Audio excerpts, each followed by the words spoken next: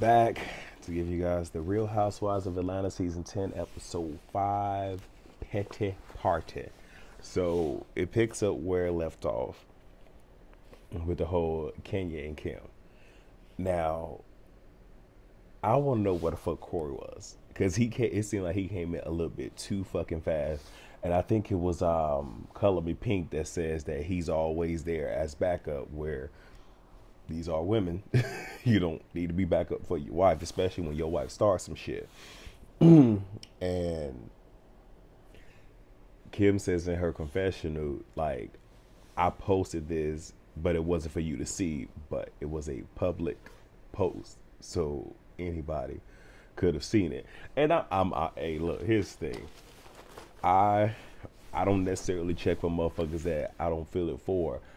But if you already came at me sideways, I'm going to make sure that I got some shit to tag your ass the next time you try to come at me. Because I'm going to be honest, the last time Kim and uh, Kenya got into it, Kenya didn't get her the way that I would have liked to, but she got it this time. And you have Kim, Sheree, and Kroy at Porsha's house, and I was trying to figure out, like, why is Kroy sitting amongst the women? Just, just, just saying. But I guess he wanted to get him some camera time.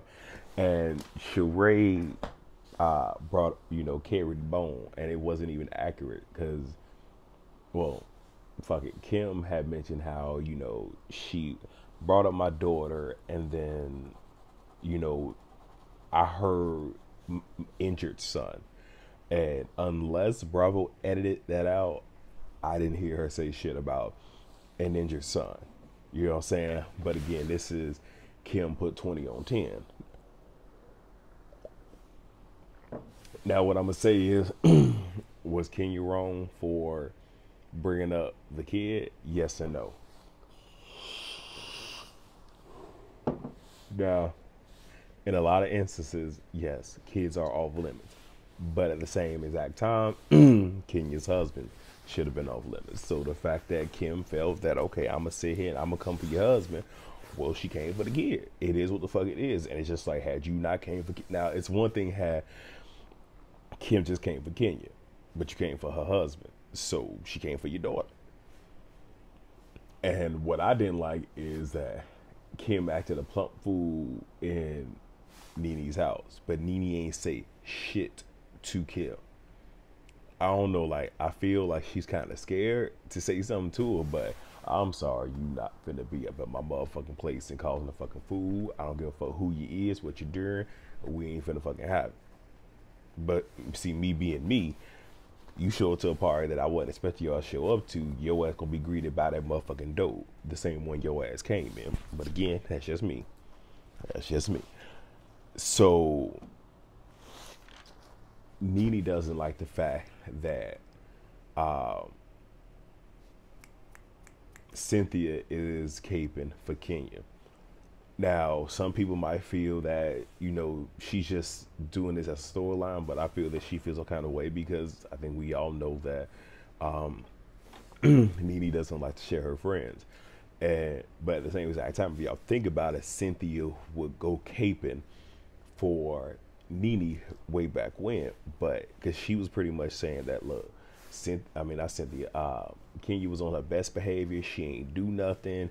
That was all Kim, but it's just facts. But I can appreciate Cynthia doing that because in any situation, everybody blames things on Kenya, and I think the reason that I can relate is growing up, I ain't gonna fucking lie, I popped off on a lot of motherfucking people. But that's because my thing is you not finna talk to me like you ain't got no sense. I got one mama, I got one daddy. If you ain't them, you ain't finna fucking disrespect me. So I would always pop the fuck off. And my mom, she hated that. It was to the point where my mother would always side with everyone else because if somebody came to her, you know, saying that I did some shit, she wouldn't get my side of the story. It'd just be like, okay, well, that's my son. That's how the fuck he is. And she would side with them.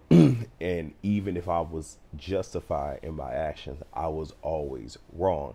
And it actually took one incident of my family for the first time, and I don't know how many years, actually telling my mom, like, no, what your son is telling you is right. This is exactly how the shit went. And it was since that day, you know, my mom, you know, she knows how to fuck get down, but she knows that okay, shit, if I pop the fuck off on somebody, it's for a good reason. So I kind of feel how Kenya is in the situation. Like, do Kenya be on some shady shit and some shit? Of course she does. Of course she is. You know.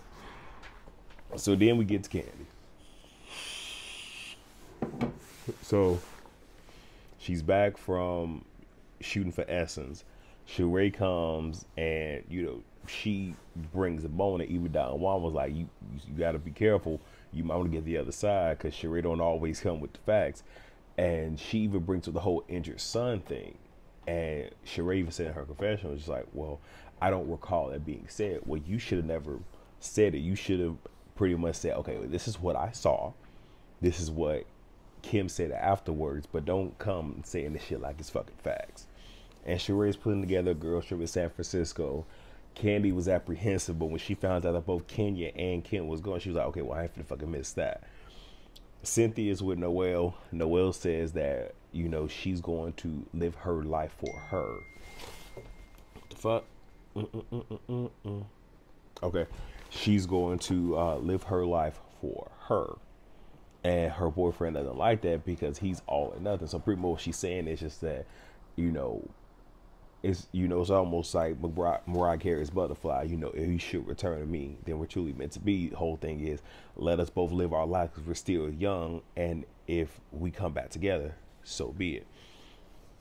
So Kenya and Cynthia, uh, we found out that Kenya's grandmother passed at 86. She was battling Alzheimer's. Uh, uh, this grandmother is her uh, father's mother, the uh, same uh, grandmother that actually raised her when her mother wanted to give her up for adoption, and they actually and she actually had a, a video of her grandmother speaking about how she wasn't going to let that happen and how Kenya is her daughter, and that was that was so beautiful. That was so beautiful, and I commend Kenya. I think she's probably saving face for the camera because I didn't already tell everybody I I found out my dukes that passed away, I ain't gonna be good to no fucking body. It ain't finna be no. I'm sitting here trying to be strong for a motherfucker. No, no. Like when my father passed away, y'all kind of saw me grieving. When I went home, I was strong for my brothers. Fuck that shit. I found out my dukes is gone. I ain't being strong for nobody. Like I'm gonna get your ass ugly cry. I'm gonna get your ass. I, am trying to catch my breath cry. Like I'm gonna give it all. Shit. Fuck that shit. So, mm-hmm. but she did say that um, her grandmother met her husband, and she kind of felt that once she knew that Kenya was um with someone that will take care of her, that was her cue to exit. And I do feel like, you know, sometimes when people are, I guess you could say on a deathbed that they sometimes hold out until certain things happen. I don't know. Let me not talk about it because I don't know how to properly explain it. Moving on. let me see. Nene pretty much is with Marlo, and she said that she's going to surprise the girls with Marlo. So she's not going to tell them that Marlo is going to show up, and they're just going to have to deal with Marlo when she gets there. Kind of shady and fucked up, but it's what it is. And she even said that she finds uh, Cynthia sticking up for Kenya to be weird. She's jealous, whatever. so now they're in San Francisco, and on the bus, I guess going to uh, wherever they're going to be staying to the hotel.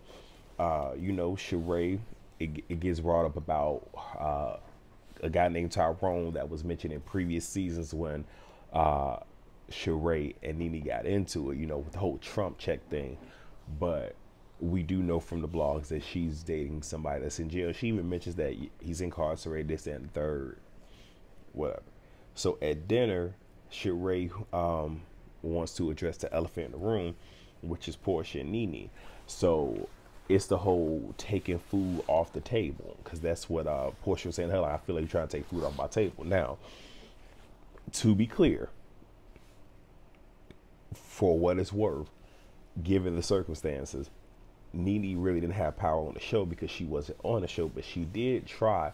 She really tried to get Cynthia fired because we're gonna see Cynthia talk about that like kind of cryptically in the next episode. But Nene was just like, well, shit, you took food off Phaedra's plate because you see she's the only one that's not here. I was like, oh, oh, ho, ho. And, you know, um, what's her name? Porsha was just like, well, we all need to be held accountable for our actions. And Kandi's just like, I know you ain't talking, and that's true because not once has Porsha truly came out and said, you know, accepted ownership of what she did. She just blamed everything on Phaedra. And, you know, Nene even told her, like, no, I'm the one that helped you stay here. And they even did the flashback of at the reunion. She was trying to talk her down, like, look, no, because you had King talking about so she should be fired, but you had Nene right there saying, like, you know, pretty much trying to coach her, get it back together. Now, am I the only one that caught? Marlo was sitting between them, kind of refereeing, but Marlo moved her seat. I guess she was just like, shit, I want to see this shit go the fuck down. And it's a whole lot of back and forth, and that's pretty much where it ends. So it's gonna pick up next week. Was it a good episode? Eh, not really. And I'm kind of getting tired of Bravo doing the whole cliffhanger shit, but that's what the fuck Bravo does. So that's my review. That's all I got. Hopefully you guys enjoyed it. Uh, Next review is going to be uh, Love of Hip Hop New York. I can't wait for Miami because Miami seems like it's going to be lit. And y'all know Trick Daddy ain't got no damn sense. I know Trick Daddy say some off the wall shit that can be offensive, but I like the fact that he is uncensored, unfiltered, go say what the fuck is on his mind. So I cannot wait for that. So that's all I got. Please uh, rate, comment, subscribe, and share. And I will see you guys tomorrow for Love Hip Hop. Peace.